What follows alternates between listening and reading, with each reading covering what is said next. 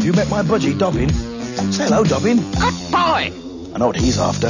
One of my Smiths Square crisps. Well, they're not really crisps. They're more of a crunch than a crisp. Here you are then, Dobbin.